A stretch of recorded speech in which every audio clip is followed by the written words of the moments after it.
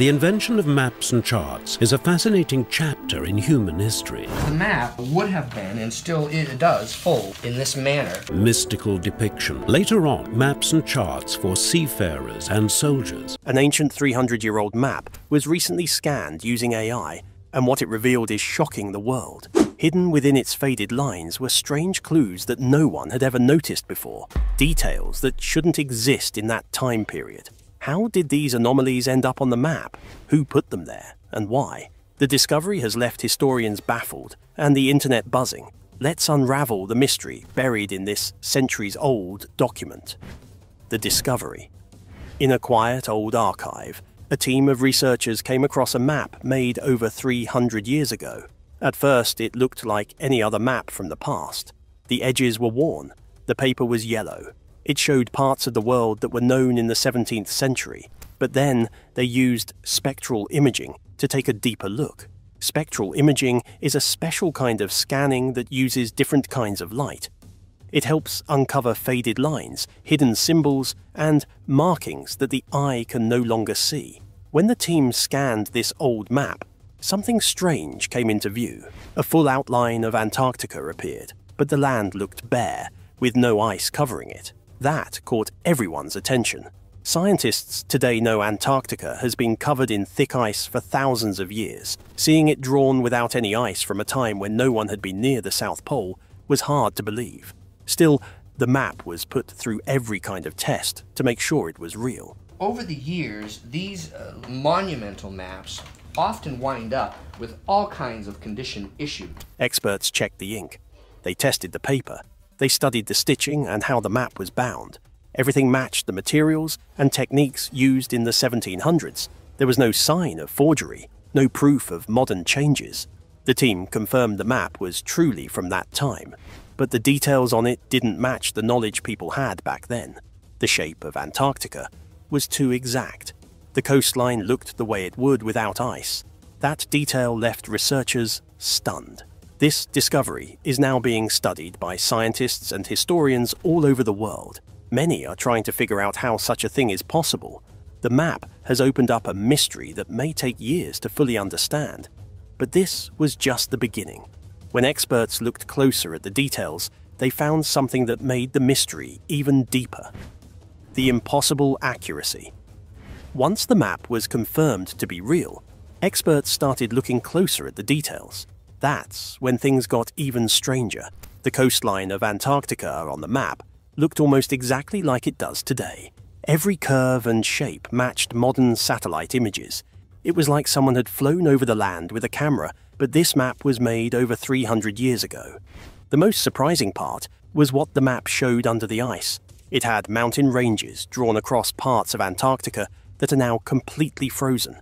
These mountains were only found in the 1950s when scientists used radar to scan below the ice. Back in the 1700s, there was no way to see that deep into the Earth. Along with the mountains, the map showed valleys and other features that modern explorers didn't know about until much later.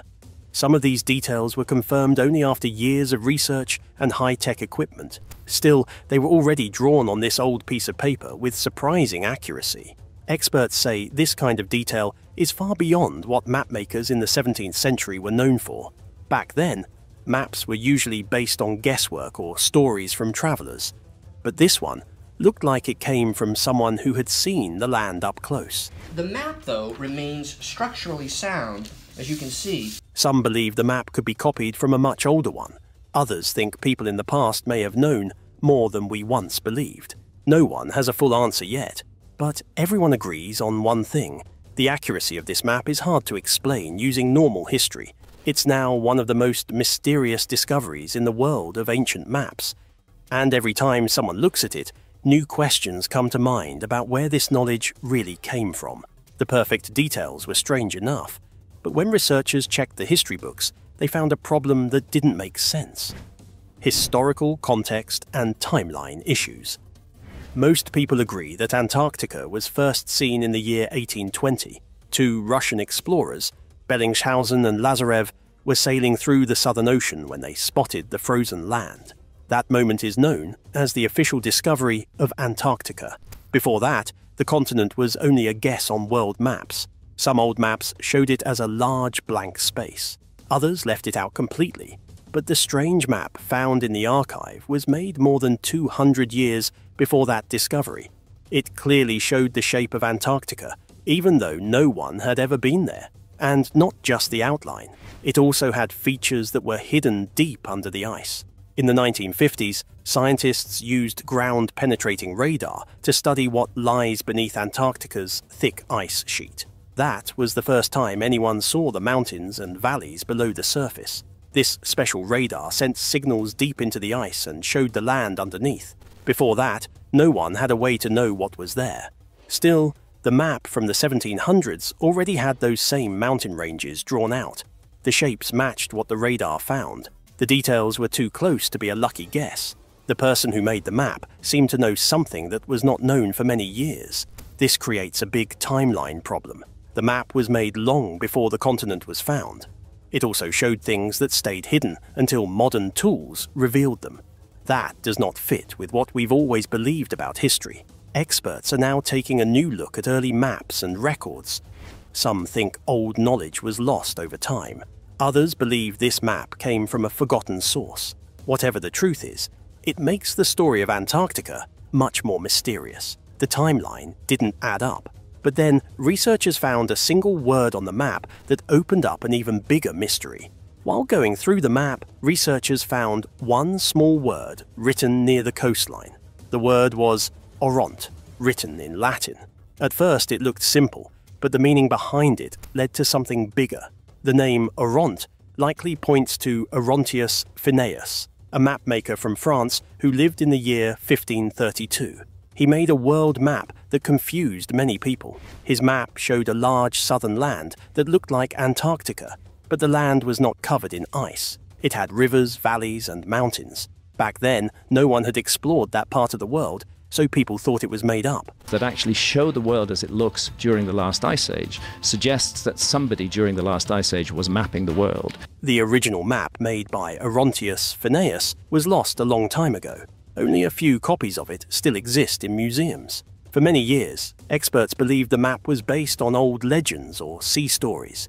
Some even said the details were random, but now this newly scanned map brings back interest in the work of Orontius Finaeus. The word Oront on the new map might mean the mapmaker used Orontius Finaeus's work to help draw it, or maybe both maps came from a much older map that no one has found yet. This small word could be a clue that links the two maps together. The placement of the word is also strange. It sits right where Queen Maud Land is on modern maps.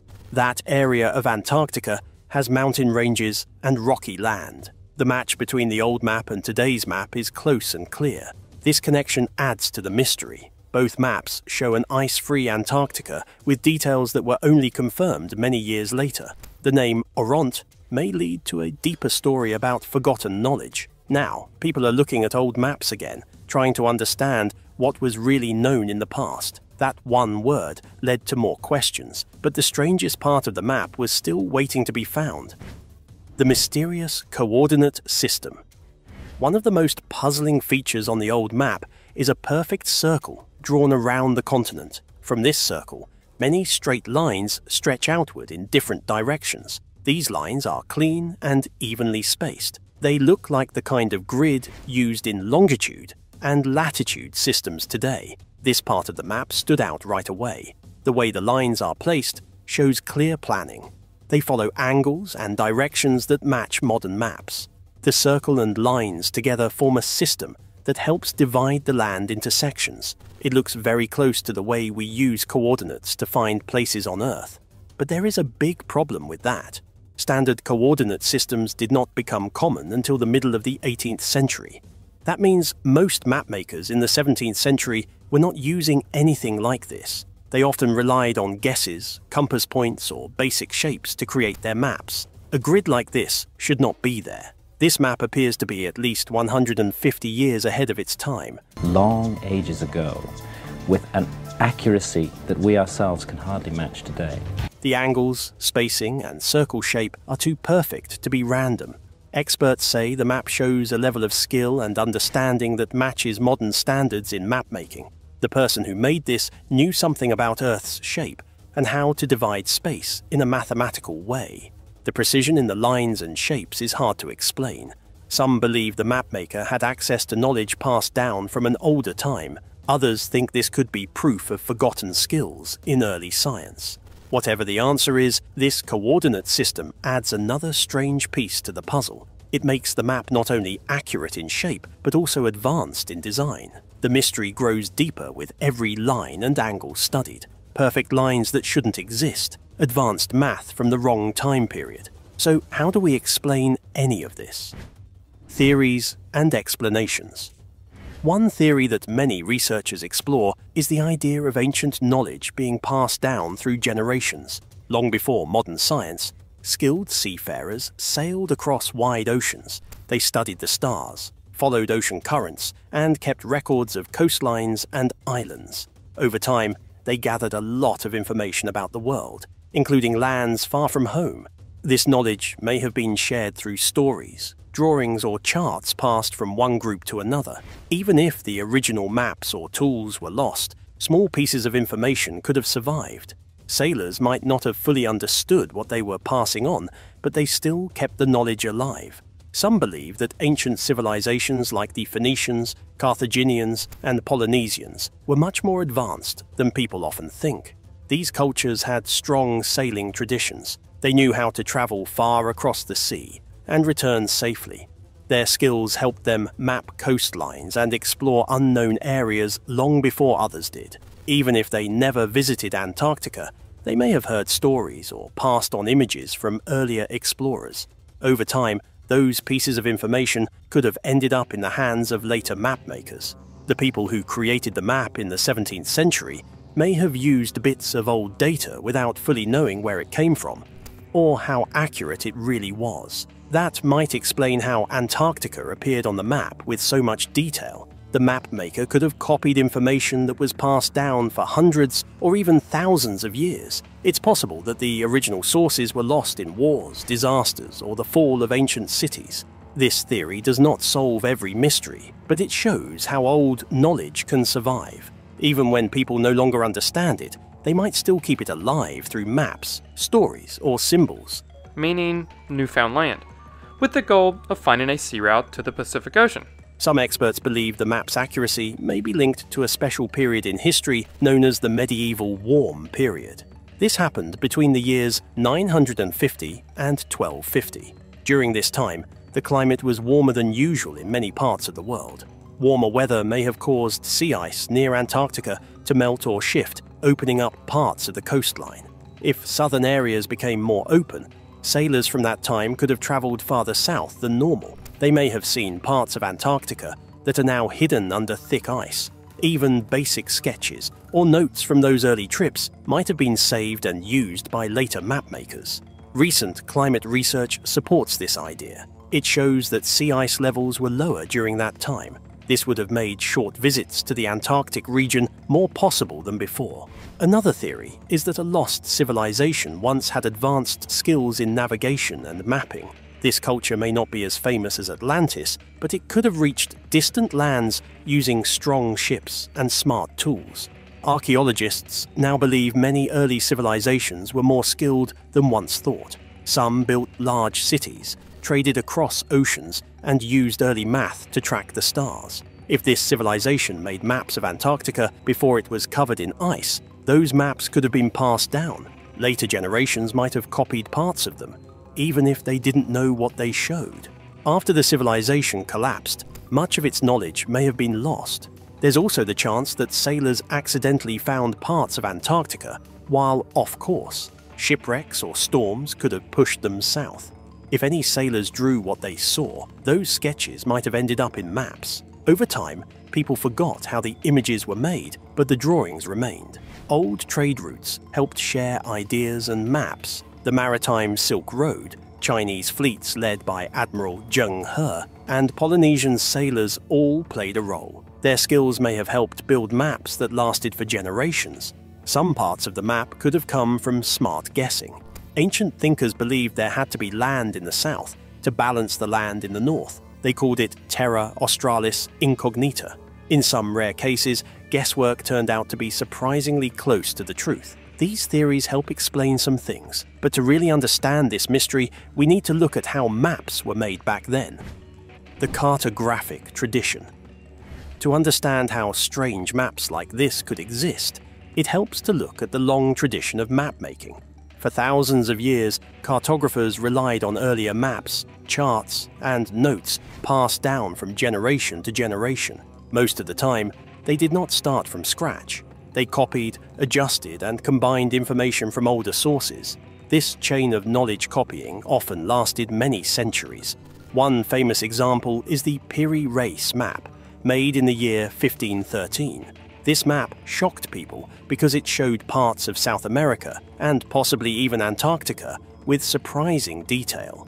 But Piri Reis himself wrote that he used many older maps to create it, some of those sources were said to be over 300 years old at the time. That shows how information can survive across long stretches of time, even when people do not fully understand what they are copying. Many mapmakers acted more like collectors. They gathered drawings, sailor notes, and fragments of older charts. They respected their sources and tried to include as much as they could. Often, they trusted what was in front of them without knowing if it was right or wrong. The goal was to preserve information, not always to question it. Piri Reis has succeeded in describing the coastline and islands of the newly discovered regions of the world. This might explain how details about Antarctica ended up in a map made before the continent's official discovery. The person who made the map could have been copying older records. Even if they didn't know what the land was, they still added it because it came from a trusted source. Over time, the meaning behind those shapes and lines may have been forgotten, but the content stayed alive through careful copying. This tradition shows how ancient knowledge can survive in pieces, passed from one hand to another.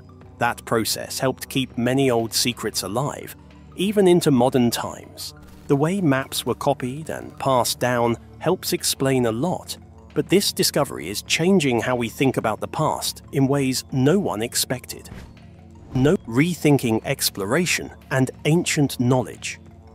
The discovery of this ancient map has opened the door to a deeper look at how exploration and knowledge may have worked in the past. For many years, the history of discovery has focused mainly on European explorers. Textbooks tell of famous journeys made during the 15th to 19th centuries, but this map, with its precise detail of Antarctica, makes that timeline feel incomplete. If someone mapped parts of Antarctica centuries before its official discovery, then earlier cultures may have reached farther than we believed. This challenges the Eurocentric view of global exploration. It also shows that knowledge can exist outside of official records. Seafaring cultures like the Polynesians, Arabs, and Chinese had long histories of ocean travel. They explored wide regions, developed tools for navigation, and passed down detailed knowledge. This map supports the idea that their contributions were far more advanced than often credited. Multiple pieces of evidence now support this theory. The word Oront ties the map to earlier lost works. The circular grid drawn across the map reflects a high level of mathematical understanding, far ahead of the time. The coastline, mountain ranges, and fjords of Antarctica match modern satellite images. Even ocean depths align with today's data. These elements combine into something that is hard to explain using what we currently know about history. Digital overlays have made the evidence stronger. When the ancient map is compared to satellite maps, the lines match up in ways that go beyond chance. The accuracy in shape and placement shows that whoever made the map had access to advanced information, possibly passed down from forgotten sources. This doesn't mean we should erase our current history books, but it does mean we should ask more questions. The map shows us that ancient people may have known more than we think. Their understanding of the world, passed through maps and stories, may still hold secrets waiting to be found. So, whether it's ancient maps, lost explorers, or knowledge hidden in plain sight, one thing's clear history still holds secrets we've barely scratched. If this blew your mind even a little, don't forget to like, share, and subscribe. There's a lot more hidden history out there, and we're just getting started.